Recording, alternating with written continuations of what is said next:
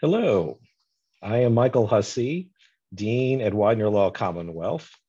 It is my pleasure to welcome you to the 15th annual John Gedid Lecture, named for the founder of our Law and Government Institute, Emeritus Professor John Gedid. We are delighted to have John and his spouse Carol with us today. Welcome, John. Welcome, Carol. Our Law and Government Institute helps students explore how government works and the roles that lawyers play in making and implementing the law. As a result, our students develop a passion for government law, which in turn leads to Widener Law Commonwealth alumni working in all areas of government law and public service. Our alumni are key to ensuring the rule of law is rightly developed and faithfully implemented. I hope you find today's lecture engaging and thought-provoking. It is now my pleasure to introduce Professor Jill Family, who is the faculty advisor to the Law and Government Institute. Professor Family? Thank you so much, Dean Hussey. It is my pleasure to welcome you all here today. And I just wanted to take a minute to recognize John Gedid, who is here with us this afternoon, and to thank him as we do every year to he and his wife, Carol for all that they have done, not only in establishing the Law and Government Institute, but also for their crucial roles in the creation of our law school period. Um, and so we are very glad to be able to host this lecture every year to honor the work that John has done to make Widener Law Commonwealth what it is, as well as to recognize uh, his role as a mentor to so many of our alums and faculty members as well. So we are so happy to have John here with us. And also real quick, if I may, I just want to give a shout out to Quinn Yeargain, who is also um, with us. And Quinn is going to be joining our faculty in July. Um, and Quinn very much will be following in John's footsteps um, in that Quinn is also dedicating, dedicated to studying state government and uh, the way state governments work and government law. So um, I am going to now turn things over to one of our fabulous students, Sean Peterson, who will introduce our speaker.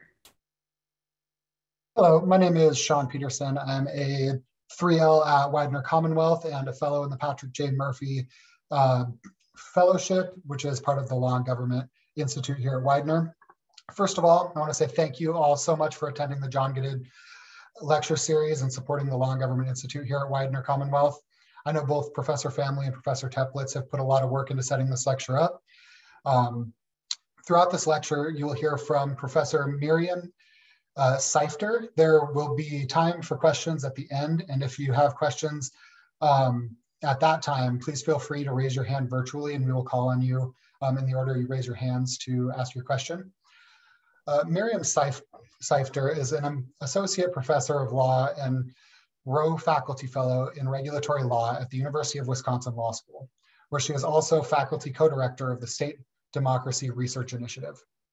Professor Seifer, Seifter received a Bachelor of Arts in magna cum laude from Yale University, a Master of Science with distinction from Oxford University, and a Juris Doctorate magna cum laude from Harvard Law School where she was an environmental fellow and an art, articles editor on the Harvard Law Review.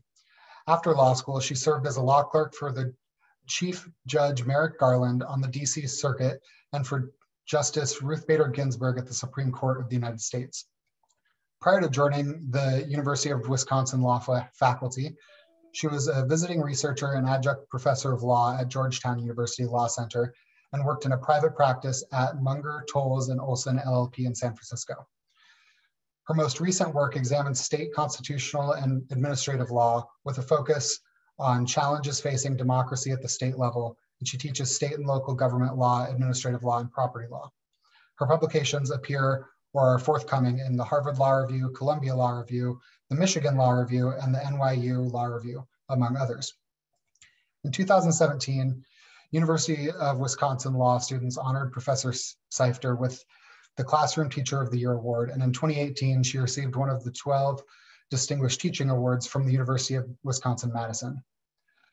For her article, Gubernatorial Administration, Seifter was named the 2017 winner of the American Constitution Society's Richard D. Cudahy writing competition on regulatory and administrative law. Her article, Understanding State Agency Independence, won the ABA's 2020 Award for Scholarship in Administrative Law. So without further ado, Professor Miriam Seifter. Thank you so much for that generous introduction, Sean, and thank you all so much for inviting me to join you today.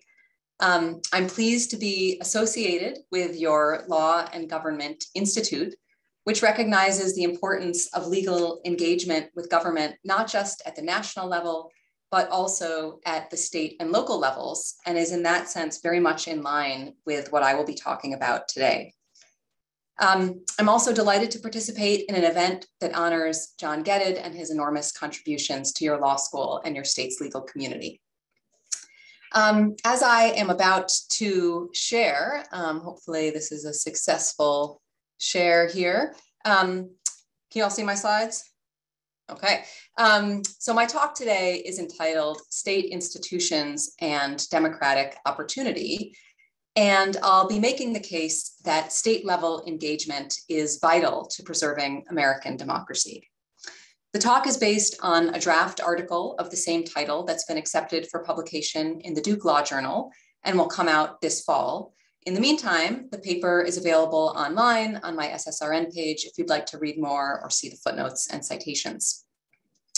With regard to the length of my talk, a quick story. Um, one of the joys of having children who are getting a little older is that my eight-year-old and I were both working on slide presentations yesterday, um, but his presentation to his class runs for approximately three minutes, um, and I've been asked to speak for about 40, to which he said, Mom, that is long. So um, let me just say that although I would have loved to join you in person, and I hope to do so someday, uh, one of the advantages of Zoom is that I hope you will feel very free uh, to take stretching breaks throughout. No one should have to listen uh, to me talk for 40 minutes without a break. Now, um, before I turn to questions of democracy, I did want to start with a background premise that I suspect this audience already knows well. In law schools and the broader legal community, we don't pay nearly enough attention to state level governance. If you survey any group of law graduates or law professors or attorneys, you'll find admirable familiarity with the Supreme Court of the United States, with Congress, with the presidency, with federal agencies and federal administrative law. But how many people have a similar depth of knowledge about their government institutions closer to home, their state system, their state courts, their state representatives, the state executive branch, and its distinctive administrative law. And yet, inattention to state institutions opens the door to opportunists, including some who may have anti democratic ends in mind. Moreover, you cannot protect the institutions you don't see or understand. So, my remarks today are part of a multi paper set of projects that tries to center academic and popular discussion on public law at the state level. There is just no good reason that legal education and the academy can't be closely studying the state level just as we do the national level. Through my own work individually and with our new state democracy research initiative at Wisconsin, I hope to draw more attention to what's going on in the states. Um, so what does that mean for you? Well, for scholars in the audience, I hope many of you will do more of this as well um, for attorneys in the audience, inside and outside of state and local government, already attuned to these issues. You already know how important they are, and I would be interested in your feedback. Um, in fact, one of the challenges of studying states is the task of trying to learn the nuances of each of them. So I would love to hear more about your experiences in the Q&A. And for law students in the audience, I hope to persuade you that focusing on states is an excellent use of your time, both in your studies and in your future legal careers. Um, okay, so a jumping off point for my remarks today is that American democracy seems to be in a precarious position. As many scholars have now written about, democracy in the United States is under pressure. We had a frighteningly fraught transfer of power after the 2020 presidential election, And those who wish to subvert democracy are taking steps that increase the threat of that occurring in 2024. Even before that, recent years have brought to the fore a series of other developments that scholars have identified as pages from the quote authoritarian playbook. Worse still, there seems to be little that people who are still committed to democracy can do about it at the national level even if those people constitute sizable majorities of the public.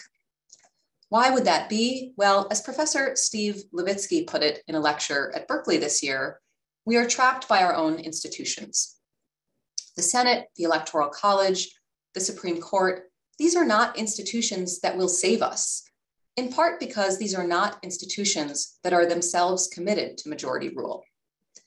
And so it can all start to feel like a depressing state of affairs majorities still want democracy, but structural features of our national government may shut them out. So, what are we to do? Well, there are places in the United States where majorities can still rule, and those places are the states themselves. Most state institutions are majoritarian.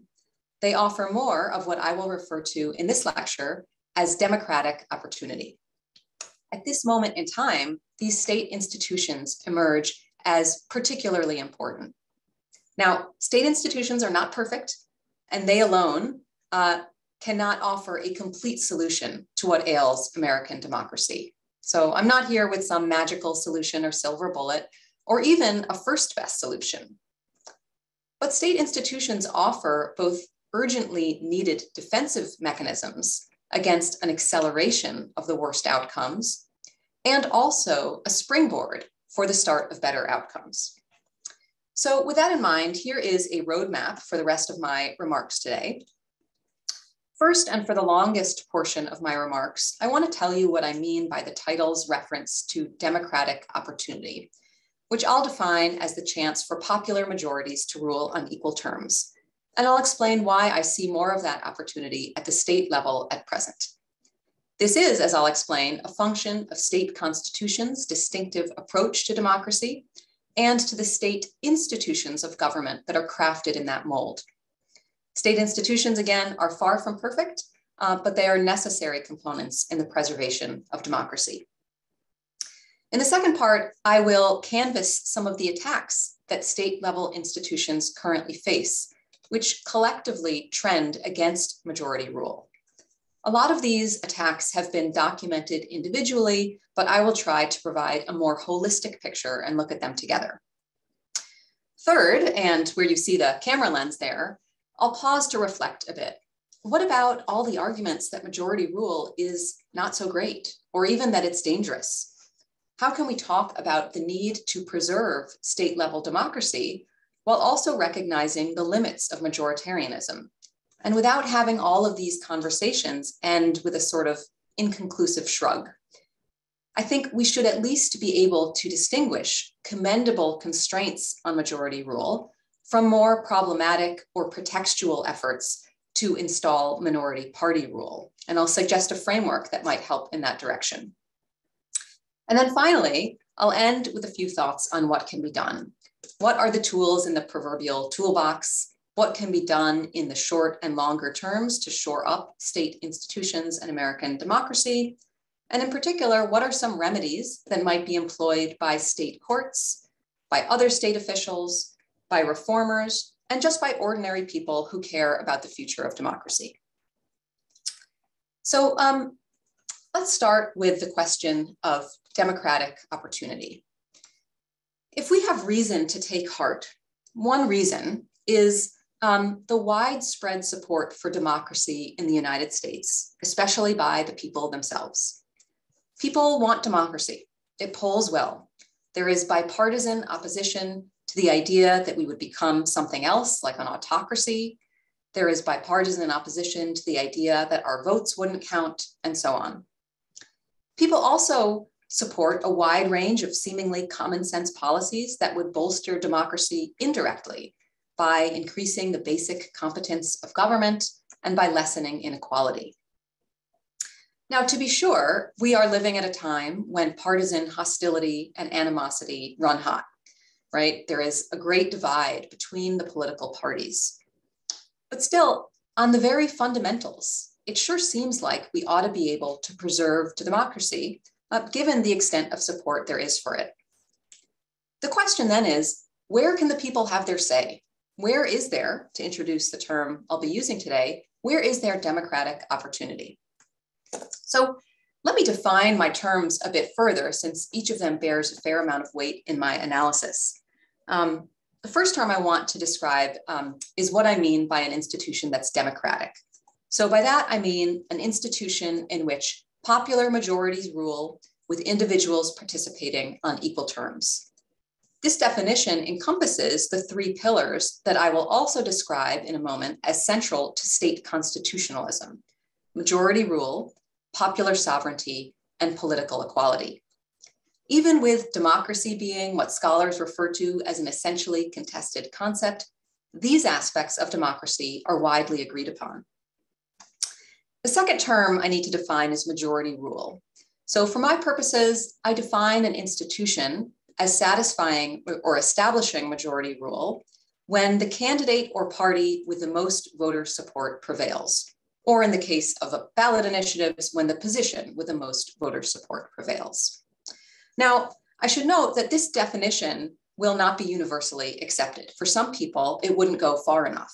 Um, so for one, because it is measured by the participating political community, it does not directly address real problems of voter suppression or, or um, restriction. And because it does not uh, demand full blown policy congruence between what voters want and what policies get enacted, there are also some scholars and commentators who say that it doesn't, it's not majoritarian enough.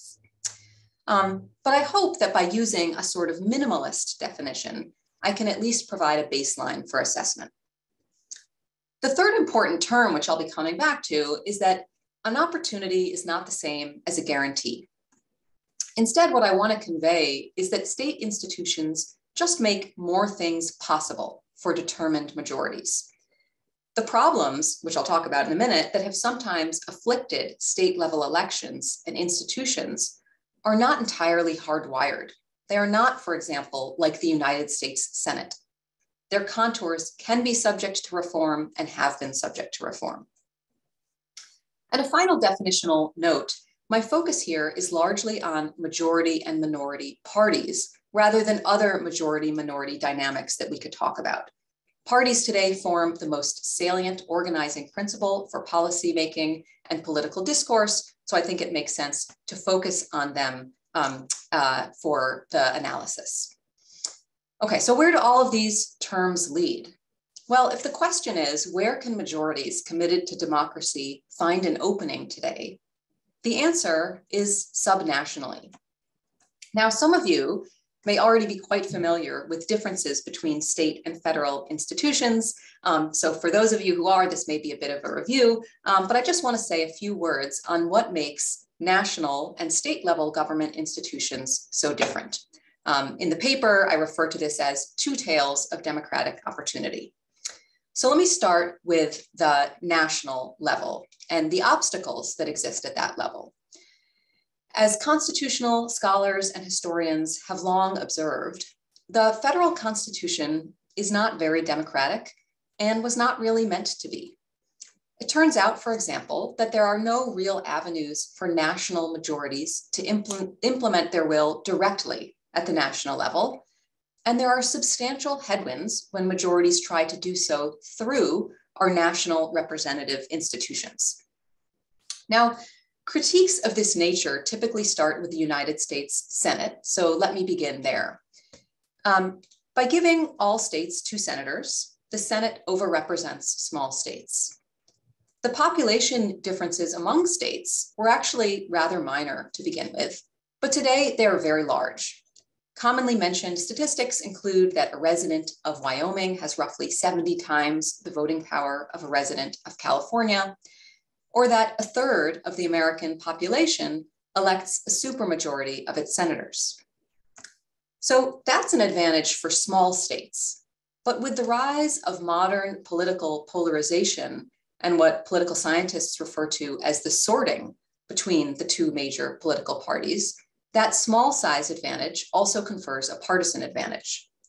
Because the Republican Party dominates small states, while Democrats are concentrated in large states, the 50 Democratic senators today represent over 40 million more Americans than the 50 Republicans, and the GOP senators have not represented a national majority since 1996, even though they've controlled the chamber for 18 years during that time.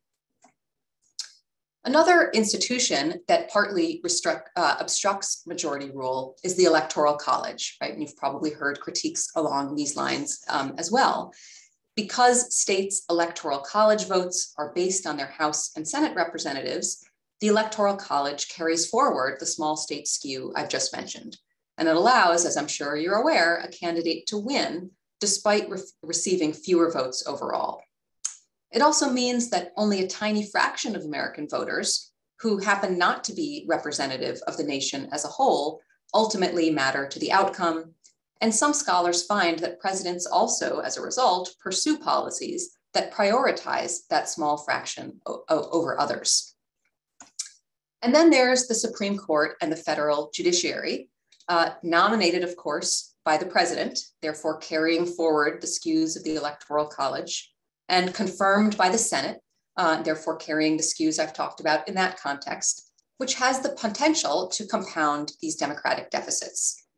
Judges might, may therefore be selected by a Senate or president or both who lacked popular support. And of course, these judges uh, are then locked in with life tenure. And finally, in the quartet of obstacles here, we appear to be more or less stuck with this arrangement because the federal constitution is so difficult to amend. We're not in a situation where we can simply change the rules to make these institutions more amenable to the will of the people. That's not an option that's realistically on the table given the processes for federal constitutional amendment. So maybe that's a bit of a review about what our national institutions look like and the, some of the challenges they pose to democratic rule. Um, things look different in the states. And I'd like to describe this in three steps.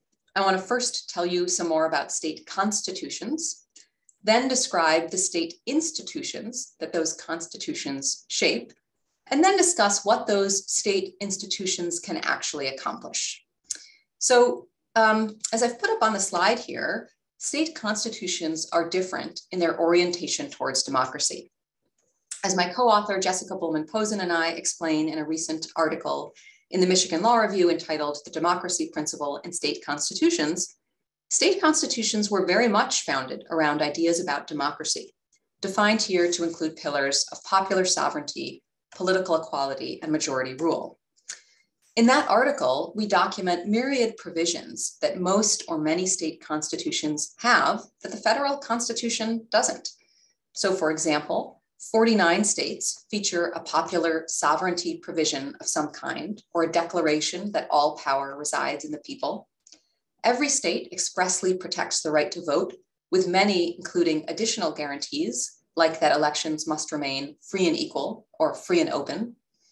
State constitutions, as I'll discuss more shortly, establish the direct election of far more officials Roughly half of the states provide opportunities for direct democracy as a means of enacting or vetoing statutes or amending the Constitution. Some also offer things like recalls. And state constitutions can typically be amended far more easily than the federal constitution, allowing people to be the authors of their government on an ongoing basis. Here are uh, just a few examples of what I mean in a way that's easier to see. So from here in Pennsylvania, a popular sovereignty clause providing that all power is inherent in the people. From the state of Washington, an example of a requirement that all elections shall be free and equal. And from Arkansas, an example of a reservation to the people of the initiative power. Now, of course, as these examples suggest, parsing and applying the democracy principle in any given case will necessarily require application of that state's own provisions. But what we show in the paper is that the pattern is widely shared across states and that it, it is and was deliberate, rooted in a history of states reacting to unrepresentative actions and driven by waves of amendment across the states that involved conscious borrowing and copying across states, so that it's sensible to speak of this as a state constitutional principle. Indeed, when it comes to the federal constitution, we rest far more on far less evidence in the document. With state constitutions so rich with provisions embracing democracy, we should think of this as a structural feature of the documents, similar or analogous to the way that we think of federalism and the separation of powers at the federal level. Even as we might sometimes disagree about which way those structural constitutional uh, features point us in a given case, we have no doubt that what we're talking about is a constitutional principle. And so it is with the democracy principle in state constitutions.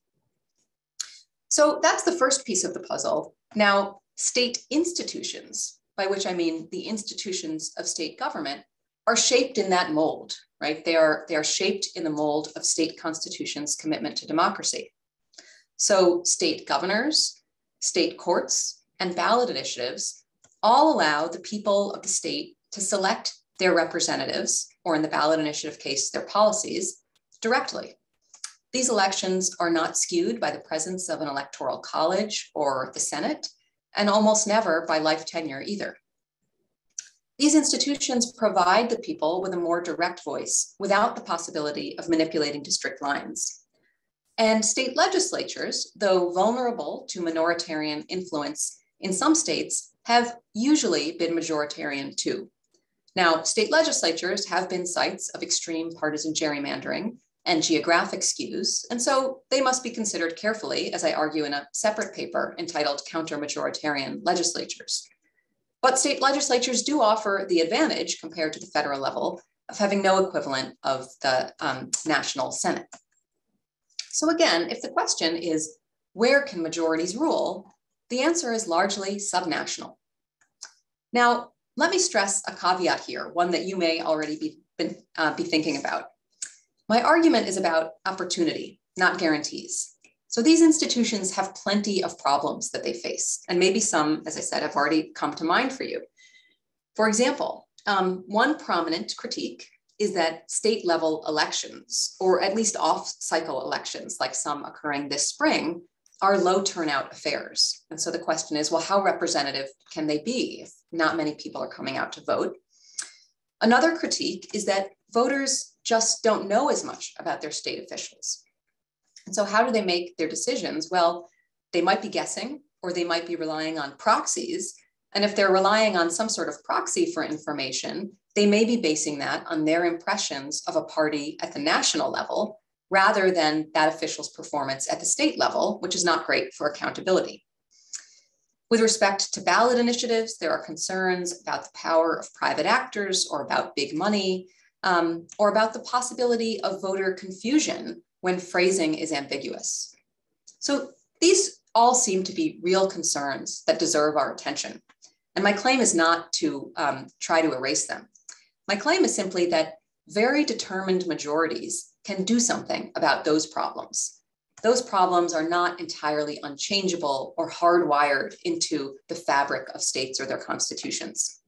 And it is worth our time to try to improve on these things, to do the educational and organizing work that gets people informed and interested in voting and engaging at the state level. Okay, so the third piece of the puzzle about state uh, states and what they can accomplish. Um, if states present democratic opportunity, you know, what, how much good can they really do? So I think that we can divide these possibilities into short-term and long-term, offensive and defensive. In the short term, we need states to act as a defensive seawall. There are lots of defensive things that they can do to protect against election subversion. For example, governors can veto laws that would give control over re election results to partisan actors. In addition, governors in North Carolina, Michigan, Wisconsin have also recently vetoed bills that would have impeded access to the ballot or the availability of absentee ballots. Governors in other states have also been vetoing gerrymandered redistricting maps. State courts, for their part, can reject anti democratic state statutes or extreme partisan gerrymanders. Several state courts have recently done just that. As you surely know, the Pennsylvania Supreme Court was a leader in identifying a state constitutional limit on extreme gerrymanders. The North Carolina Supreme Court has recently followed suit. And the Ohio Supreme Court, acting with a bipartisan majority, is currently enmeshed in a standoff with its state's redistricting commission that the court says is disregarding the commission's mandate not to favor either party. Other state actors can be important seawalls too. Level-headed secretaries of state and state elections boards or commissions can reject unlawful attempts to tamper with elections and their outcomes, and state attorneys general can leverage state justice departments to defend the right to vote. So it is therefore imperative to pay attention to the elections of all of these offices, a point that I will return to at the end. So those are some short-term defensive mechanisms. In the medium to longer term, state institutions can take more affirmative steps that can serve as a springboard for national change. Many states have used ballot initiatives, for example, to expand the franchise to formerly incarcerated people or to create independent redistricting commissions. State legislatures have taken steps to expand access for voters with disabilities, to make registration automatic or easier, or to enact mini voting rights acts. Some states have also experimented with other approaches to elections, like ranked choice voting. What good is all this? Obviously, state by state actions don't solve everything, um, but state level steps can actually do quite a lot. They can change the Overton window of what we view as possible. They can provide language and a blueprint for states that want to follow suit. They can ratchet up pressure on states that have been hesitant to promote democracy. And they may ultimately be experiments that lead to national shifts. So that is sort of the um, happy or optimistic story about state level opportunities. Um, but there's a less sunny story playing out as well. So let me turn uh, to that now. In states across the country, these state majoritarian institutions are under attack. And I'll offer just a non-exhaustive look at some of these attacks. So first, state ballot initiatives are under attack from bills that would make them harder to get on the ballot and harder to pass. In the 2021 legislative session, the Ballot Initiative Strategy Center reported tracking 146 bills intended to change the ballot measure process. For an example, an Idaho law, SB 1110, which I'll come back to shortly, increased the signature requirement in Idaho to such an extent that it would have made ballot measures functionally impossible in the state. The second example of attacks on state level institutions involves state courts. State courts are facing challenges from a number of bills that would change how judges are selected. Um, and one example of that that I'll highlight here is an effort in something like half a dozen states, including here in Pennsylvania, to create judicial districts. Um, and the concern is that this would then open the door to, to judicial gerrymandering, inviting into the judiciary the problems we already face in state legislatures. Um, and I would love for you to tell me more about that in the Q&A. And then a third example of challenges um, comes from legislative efforts um, to remove power from popularly elected state executives. And um, this has happened particularly in the context of both public health and election administration. I should caution that in this example, whether any one of these actions is actually anti-majoritarian requires some nuanced analysis. Not all of them are.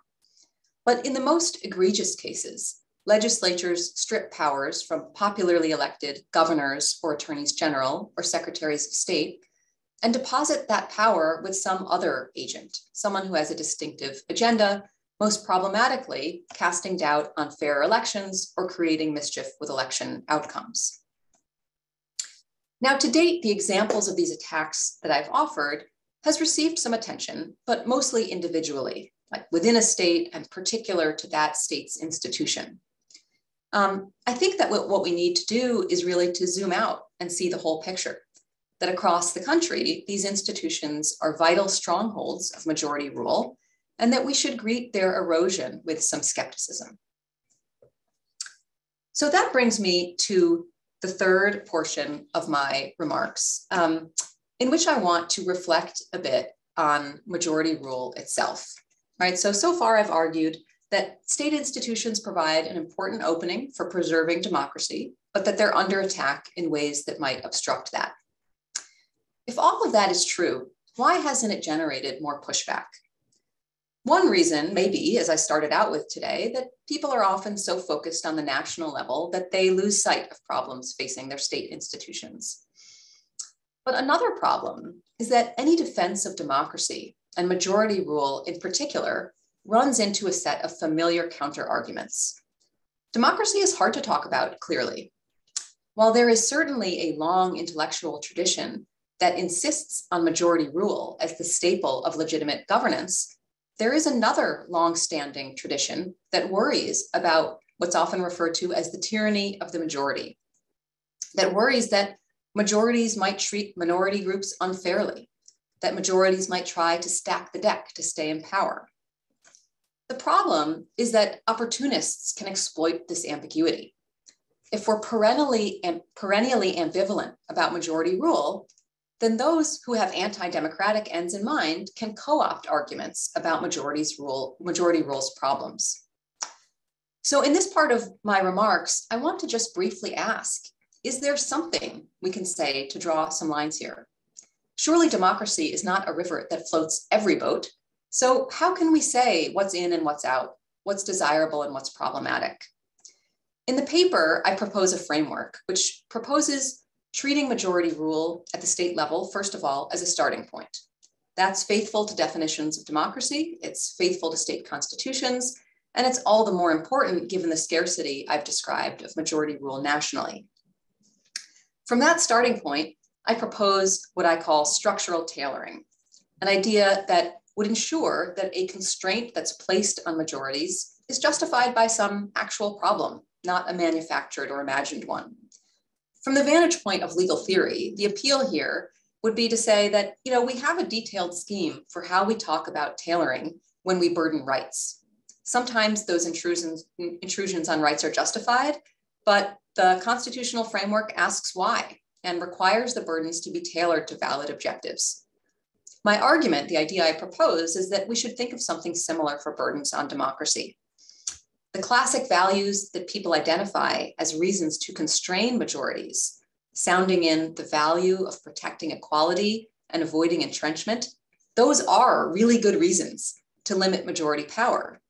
It's just that many of the limits that are proposed on majority rule wouldn't actually serve those values at all. So an analysis that can tell the difference is a worthwhile pursuit. Now, that may sound too abstract or eggheaded to do any good, especially for those of you who are not law professors. Um, but I do think it reveals three very practical recurring mistakes that we should be aware of in these conversations about state level reform. So let me just list those here.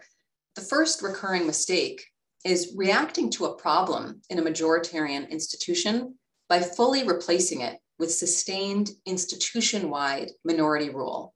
And maybe some of the examples of um, judicial gerrymandering fit that bill. Again, I would love to hear your thoughts on that. That sort of replacement of swapping out majority rule and replacing it with institutionally systematic minority rule is no good under the framework I propose because that's no more likely to protect the values of equality or anti-entrenchment, quite, quite the opposite. The second recurring problem is offering a strong constraint on majority rule as a response to just a mere ordinary political loss, where the parties remain free to compete with each other and where there's no discrimination or entrenchment afoot. I'll describe Idaho's statute uh, in a moment in that vein. And then the third recurring mistake is imposing a solution that would actually create rather than alleviate the problems of political um, inequality or entrenchment. And I think some of the examples uh, in the field of election administration would fit into that mold. So to make this more concrete, I wanna just give a brief example about a recent Idaho Supreme Court decision that I think illustrates the feasibility of clear thinking about majority rule and its limits, and when those limits are and are not appropriate. So um, as I mentioned earlier, the Idaho legislature passed a bill, SB 1110, that would have required a threshold of signatures from all of the state's 35 legislative districts in order to get a measure, measure on the ballot.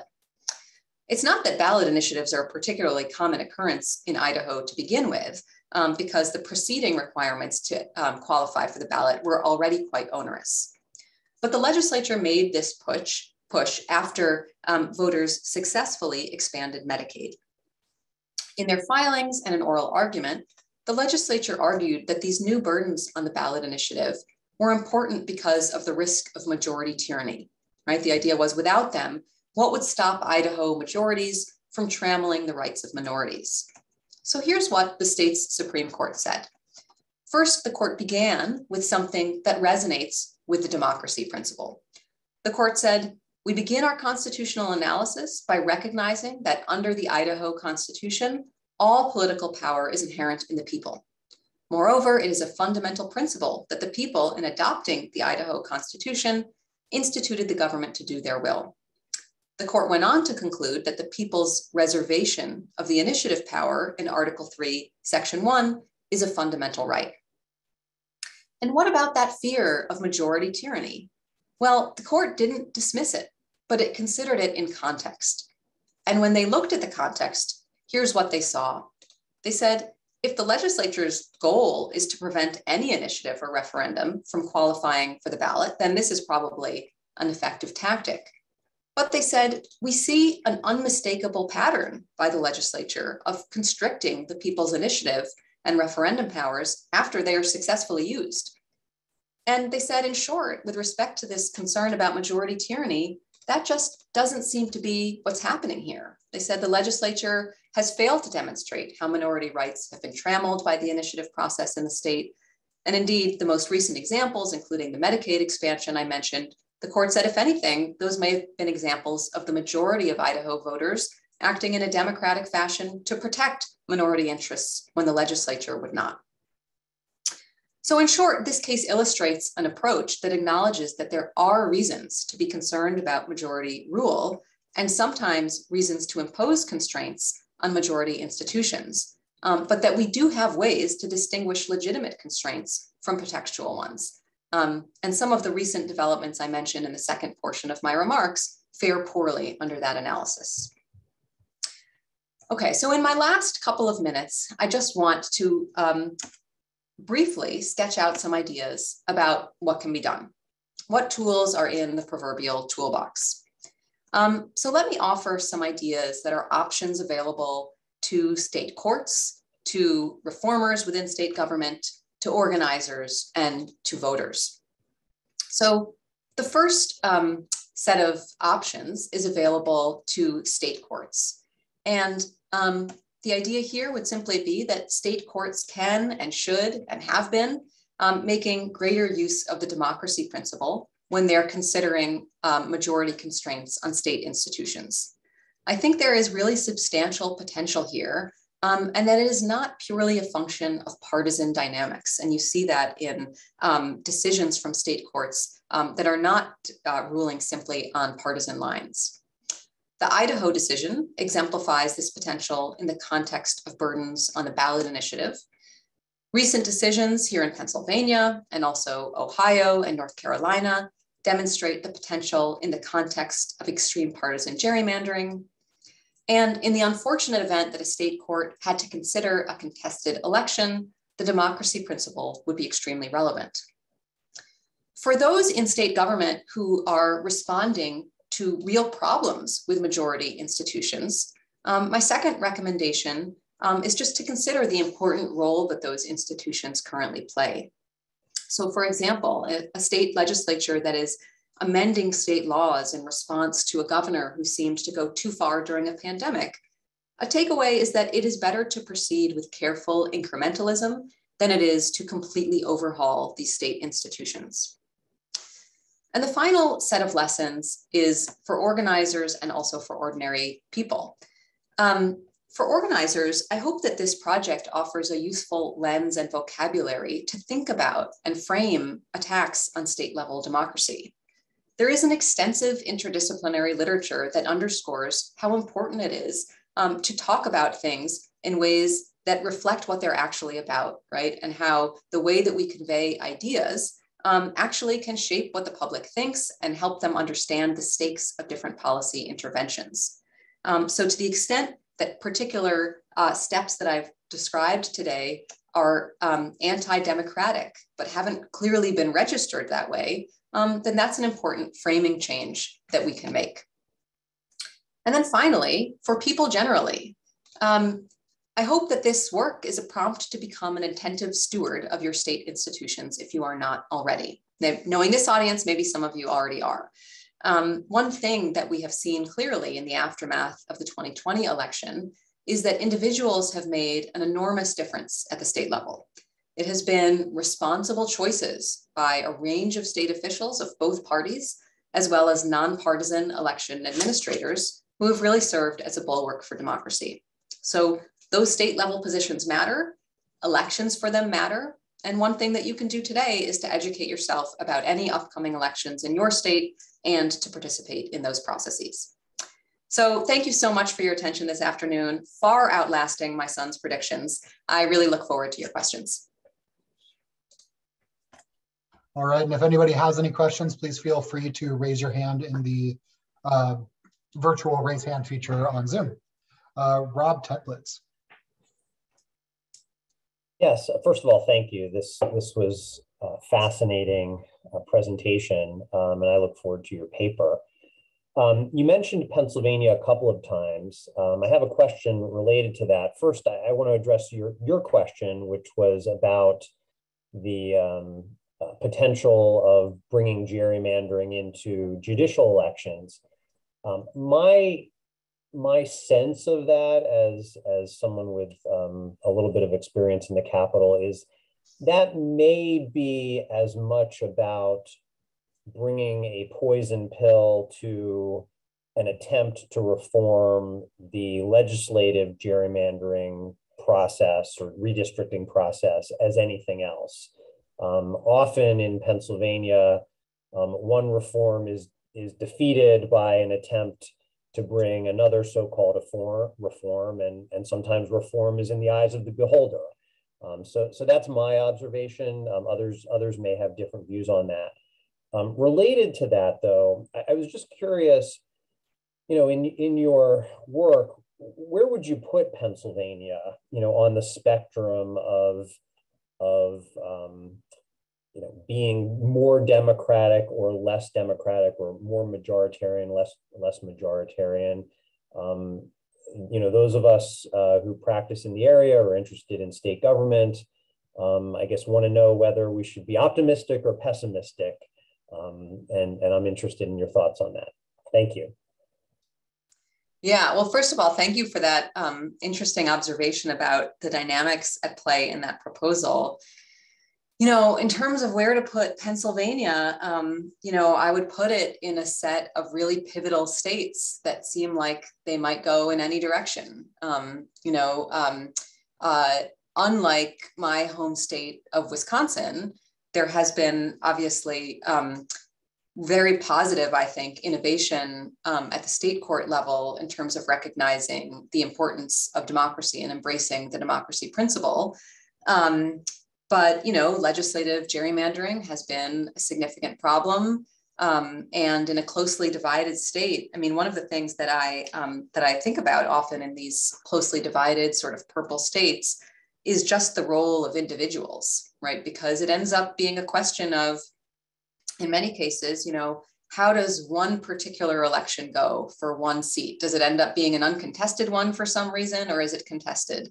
And similarly, um, you know, how are the intra-party dynamics, right? Is it is it a state that has um, a very disciplined party structure um, that is, you know, going to take a stand against anti-democratic behavior? Does it even have a few entrepreneurs who would be re- willing to do so, um, or is it going to fall in line around, you know, more autocratic um, proposals? So you know, I think you all have better answers to that question than I do. But I would say that, you know, in general, I think of Pennsylvania as just being a, a very, very critical state um, in which to work to preserve democracy because it seems sort of uh, consistent with the title of the talk. It seems like the opportunity is there, and it just depends on sort of the mobilization of determined majorities. Uh, Ian Everhart. Hi, Professor. Thank you for a, a delightful talk. Um, I had uh, two uh, observations that I was uh, uh, interested to hear your uh, your discussion of. Um, both the initiative process and the recall process, as well as constitutional amendments as uh, vehicles to for the popular will. And I guess just observing recently in Pennsylvania, I think you, you alluded to this in terms of uh, pandemic or reaction to the pandemic. Um, uh, there have been several constitutional amendments introduced in Pennsylvania um, that address the governor's emergency powers, among others and um, those that bypasses the governor's veto, um, so the governor has no role in those. And then I'm thinking, in particular, in California, with the recall and initiative processes. Uh, not that I'm any kind of particular expert, but I understand there's uh, so many initiatives and referendums out there that it's kind of hard for the elected bodies to legislate among all the mandates in those, as well as uh, just the principle that you know you have. Just thinking of uh, Governor Newsom elected um, by a landslide in a general election, and then a moneyed interest, uh, I guess in my opinion anyway, comes in with a, a, minority of signatures to get a referendum, and then you, all of a sudden you have a you know an off season, off year recall, um, and potentially over undoing that. So. Um, I guess just asking for your reaction to those, um, and maybe the reaction is just these are not all equally democratic in all instances. Yeah, um, thank you for that question. It's one that I am thinking a lot about. And actually, um, our research initiative at Wisconsin is starting a project to look more closely at many of the questions that you're describing.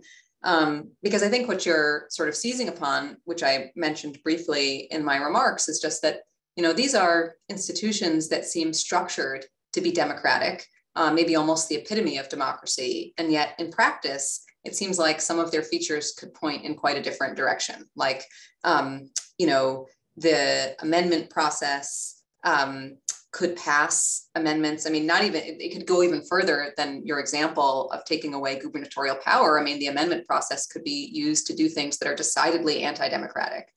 Um, and then similarly, the role of um, money in initiatives, especially in California, but certainly not only in California, um, and the use of kind of off-cycle elections, um, you know, all of that I think raises important questions. So the easy response, and then I'll, I'll give you, I think, the, the sort of harder one, but you know, the easy response is just to say again that those are not um, aspects of state level democracy that are inescapable, right? That all of this, all of this, you know, the entirety of the state level is operating in a system that is to some extent malleable to the popular will. And so if there are features of the state initiative process that are bad, those too can be changed. And so we're, you know, we're not locked in in this kind of like forever um, time frame as we are at the federal level. And even that is something to work with, right? That's an important thing.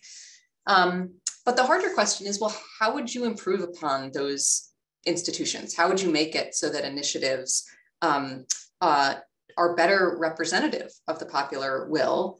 And, you know, I think that that is something that scholars should be looking at closely. One question that looms large, especially in states in which initiatives typically pass, which is not the case everywhere, um, is a question about how much voters actually understand there's actually um, there's there's some pending litigation in Wisconsin and other states about sort of what what the standard should should that be should, should be for that. Like how do we how do we determine if something is argumentative?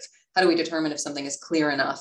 Um, and it's it's a puzzle but it's not a puzzle that doesn't have you know any possibility of solution. So different states have experimented with different things. There are states in which um, state courts have to have a go at an initiative before it can get on the ballot to make sure that it's clear and non-argumentative. There are states in which um, aspects of the Attorney Gen General's office plays that role. I can imagine a role for some sort of independent commission in playing that role.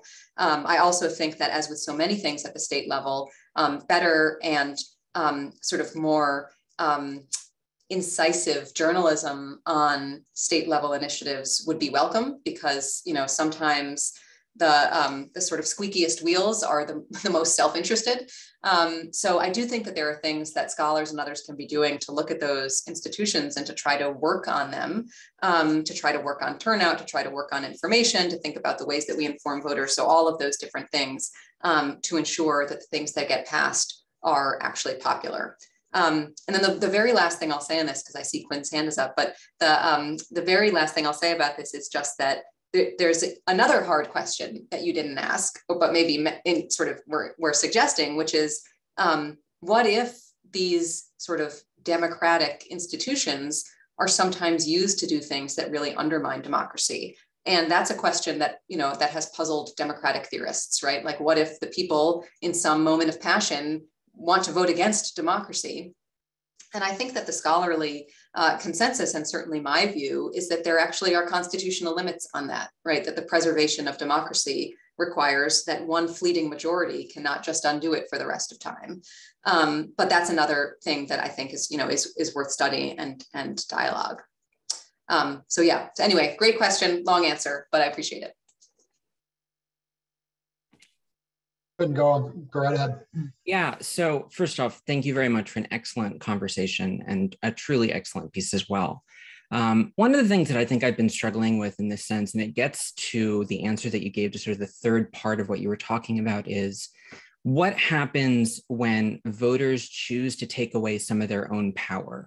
Not necessarily going so far as to strip themselves of democracy altogether, but to do as Colorado voters did in the 2010s and raise the threshold that's required to approve a constitutional amendment or impose a geographic distribution requirement on themselves. Um, because, I mean, obviously they have the ability to do that, and voters have the ability to restrain themselves. Um, and I think it gets at some of the thornier applications of defining what it means for something to be majoritarian and also defining what it means for something to be democratic. Um, I guess how how would you respond to a situation like that? Um, because it invokes a lot of the same principles as come up in Reclaim Idaho. Yeah. Um, so you're saying something like Reclaim Idaho, but that's passed via initiative. So it, it it's like the people. Yeah. Yeah. So, I mean, that is like um, what I was um, sort of saying at the end of my answer to Ian's question. Um, I think a model for thinking about this is the federal Supreme Court precedent on one person, one vote that says that that can't be eliminated through popular initiative, right? In other words, um, we might sort of disagree or be fuzzy on the margins of what's in the core of democratic power, but there is some core that is just not givable awayable right? That that that it is def- definitional of what it means to be a democracy. And I think that this is a place in which state constitutions are just extremely useful resources. Um, you know, you could you can obviously extract similar ideas from the federal constitution, but state constitutions are so rich with a commitment to democracy that I don't think it's a reach at all to say that you know there are some things that are just structural to that document where um, you could imagine um, striking down. And I don't know if signature limits you know, it would depend, right? There would be um, have to be some contextual analysis. I don't know if signature limits would be the thing, but certainly a provision that says that, you know, from now on, whoever gets the least votes wins would be something that, you know, a state court would credibly say that that we just can't do that under our state constitutional system. So although I think there are difficult boundary cases, I think there would also be easy applications that suggest that the approach um, is a fruitful one. And um, yeah, well, maybe I'll stop there unless you have a follow up. All right, I think we have time for about one more question at the moment. Um, does anybody else have any more questions?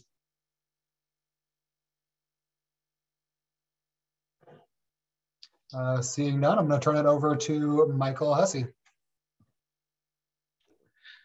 Thank you, Sean. I'd like to thank uh, Professor Seifter for the wonderful presentation today, very informative on um, the constitutional analysis and particularly showing how the at the state level that can influence um, how we operate our democracy. So thank you again uh, for being here. And I'd like to thank uh, John Gedid for joining us as well and, and uh, Professor Teplitz, Professor Family, and you, Sean, for putting this all together today. Thank you for joining us. We'll see you soon. Thanks so much for having me.